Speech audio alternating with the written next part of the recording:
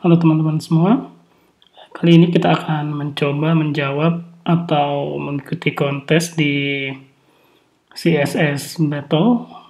Oke, ini saya coba mengerjakan yang mana ya. Ini yang in progress saja kayaknya ya, kita lihat. Oke, ini belum saya kerjain.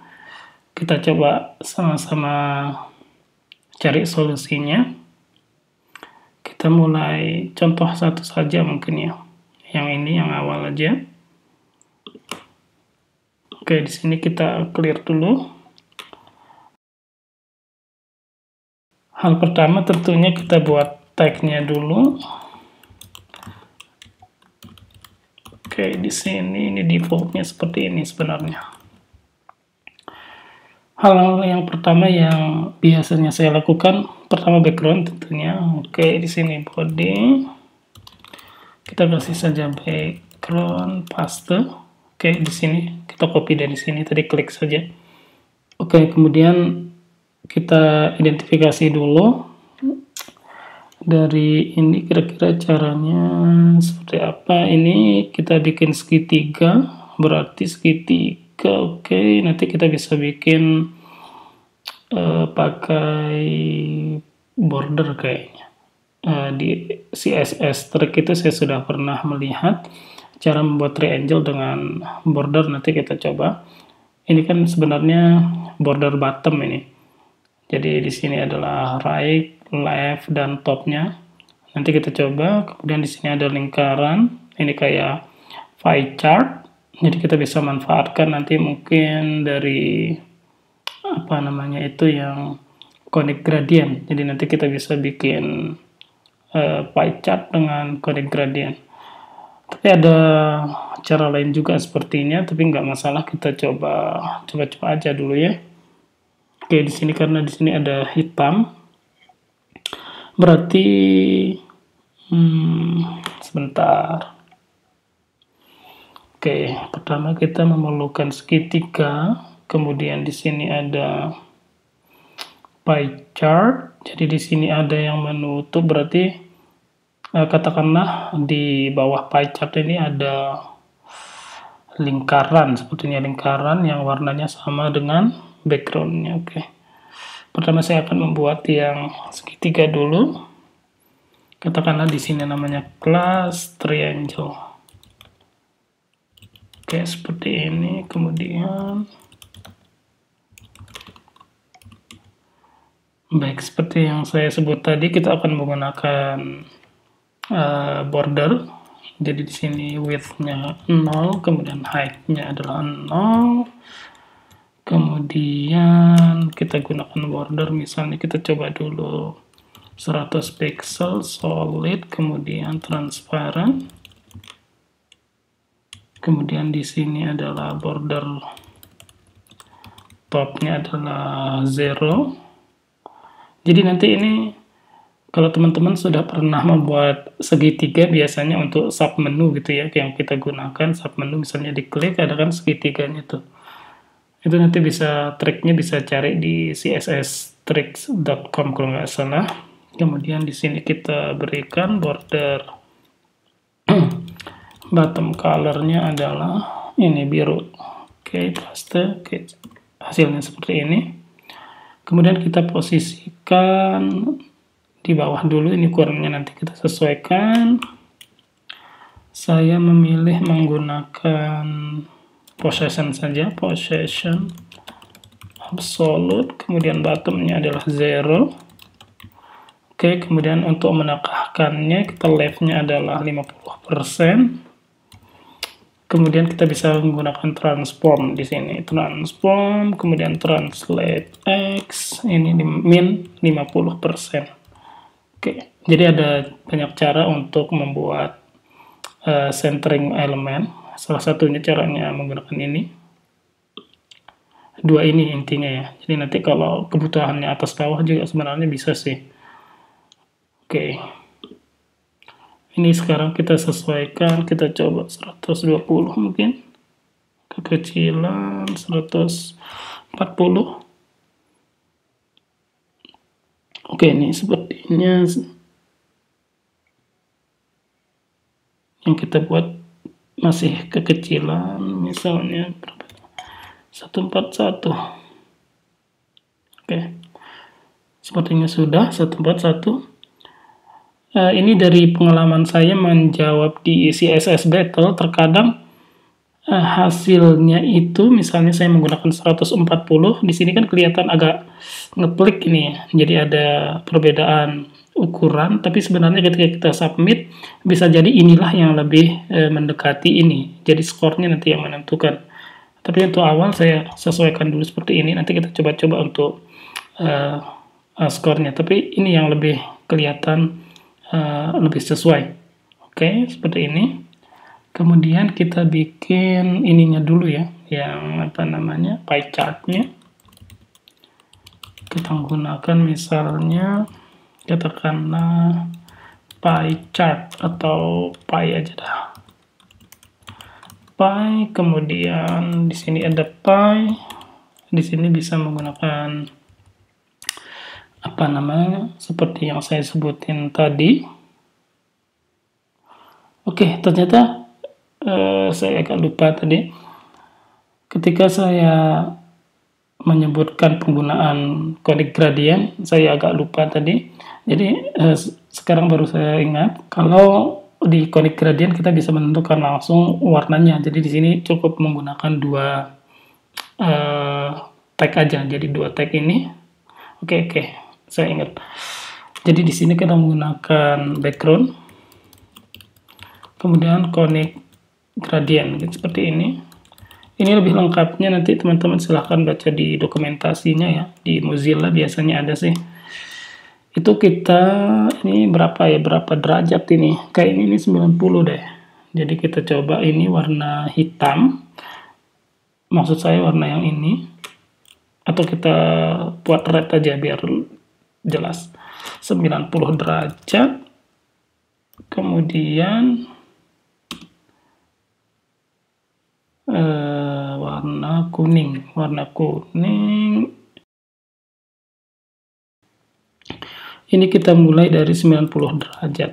Oke ini belum kelihatan soalnya belum punya width sama height nya misalnya 100 pixel height 100 pixel oke seperti ini bentuknya Oke, kita pakai border radius. Ini biar jadi lingkaran 50%. Oke, seperti ini. Tapi kan kita butuhnya di sini nih. Butuhnya di bawah.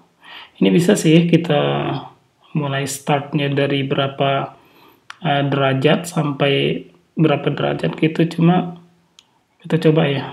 Dari misalnya ini berapa kira-kira. Ini kan nolnya di sini nih 090 kayaknya tambah 45 ini berapa? 75 bukan nih eh, salah. 90 ditambah 45 berapa tuh? Nih males banget ngitung kalkulator.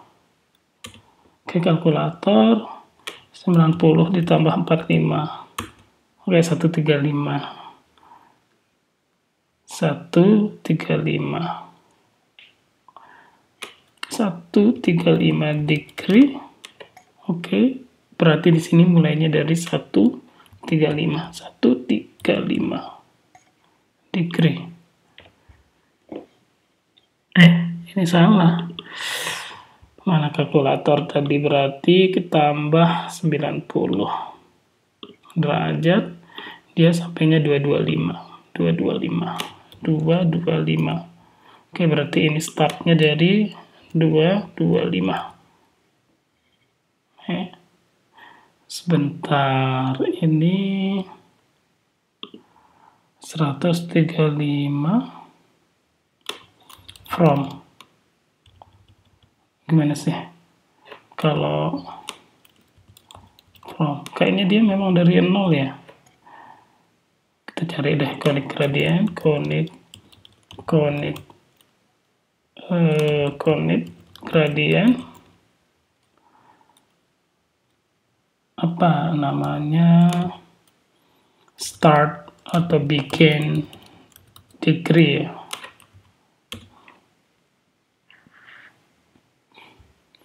Oke, kita coba cari di sini. Ini yang pernah dulu saya buka nih di Mozilla.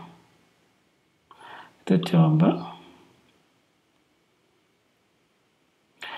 Oke, di sini disebutnya the conic gradient angle start from 0 degree sampai 360 derajat. Oke, conic are circular and use the center of the element bla bla bla. Color degree. Oke, kita coba dulu lihat di sini conic gradient. Hmm.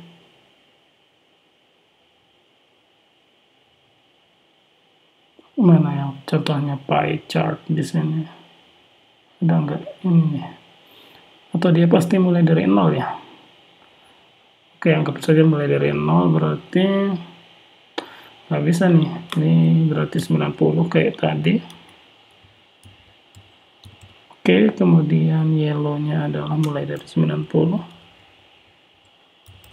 ya kayak gini berarti nanti kita rotate aja dia ya kita rotate oke. Ini berarti kita untuk membuat dia tengah. Oke kita pakai position absolute. Kemudian caranya sama kayak tadi top. Itu 50% oke. Kemudian leftnya 50% Oke, kemudian kita pakai transform. Ini kita pakai translate kayak tadi. Berarti ini, ini min 50%, kemudian min 50%. Mana dia? Oke, ini persennya. Berarti tinggal kita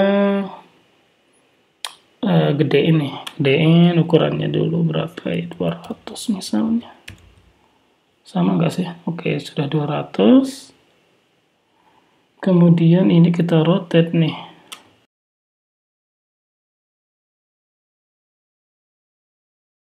Tujuh puluh, oke sembilan puluh, seratus, satu tiga lima, oke tadi satu tiga lima.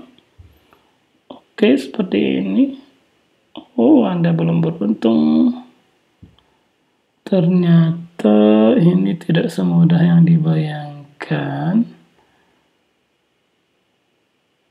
Ini tuh dia tidak tengah ternyata. Ini tidak tengah ya. Tapi posisinya sudah pas.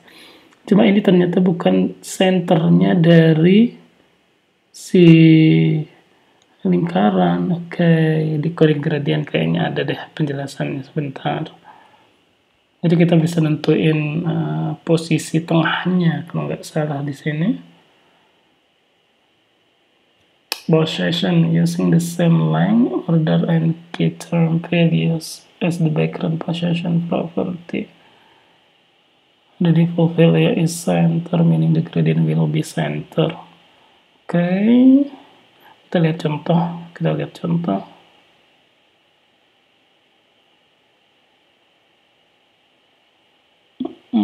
mana dia yang menggunakan possession oke ini kayaknya nih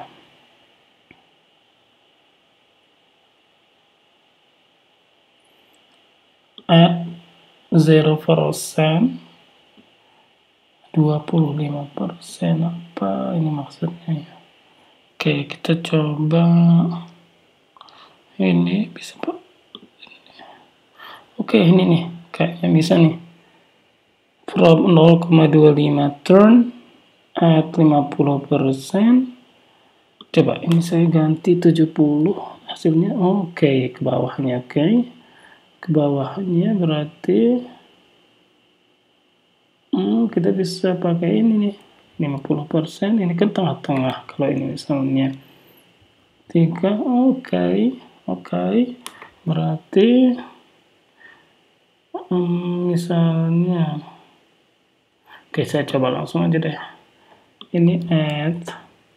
Berarti kan dia agak maju tuh. Maju katakanlah 60%. Berarti ini 50% karena tetap di tengah. Eh, alright, so from? from 0,5 ini apa ya? Oh wait contohnya kayak yang mana?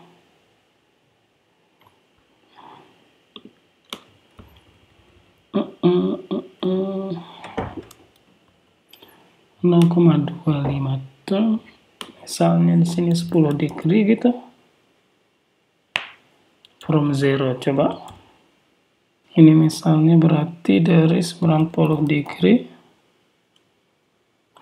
Oke okay, berarti di sini kita bisa manfaatin yang tadi. Dari 135 degree. Oke okay, berarti dia kan agak ke bawah tuh. Ke bawah berarti 60 eh ini agak ke sana. Berarti ini 50 ini yang 60 60 oke. Okay. sip. Kayak gini. Berarti di sini adalah misalnya di sini red saya ganti. Kemudian di sini adalah 90 degree. Oke. Okay. yellow. Sebentar lo. Oke, dia ini 90 degree. Oke. Ketemu seperti ini. Hmm, oke oke oke. Saya copy aja dah. Saya copy. Oke, seperti ini. Berarti kita tidak perlu pakai rotate-rotate segala nih. Ops rated-nya aja deh. Oke, seperti ini. 60 derajat kayaknya berarti ini berapa? 55 barangkali. Oke tinggal sedikit. 52 3 4 oke pas. Sekarang kita ganti warnanya. Ini yang merah. Oke. Kemudian yang kuning yellow oke ini kelihatannya ada yang oke ini 55 mungkin. 55 tapi. Oke okay, 54 dulu. Kita coba submit. Berapa nilainya? Wow 99,9%. Nah, ini yang maksud saya. Kadang itu, ini saya coba 140. Kalau 100 berarti benar ini yang ukurannya. Belum ya? Oke, belum. Oke, uh, sebentar. Ini kalau 140 berarti ini adalah 55.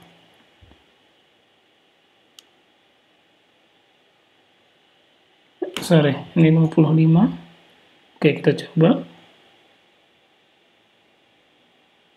Ini tetap tetap. Gimana sih ini 141 oke. Ini kelebihan kita bisa nggak sih pakai 54,5 gitu? Oke ini pas kayak ini nih. Kegedean misalnya segini Oke, ini kelihatannya sudah pas banget. Kita coba. Semoga 100. Oke. Kita dapat 100. Berarti ini memang Mbak. Atau mungkin ada cara lain sih. Oke, ini salah satu uh, solusinya. Itu aja untuk uh, sekarang. Mungkin agak terlalu panjang videonya.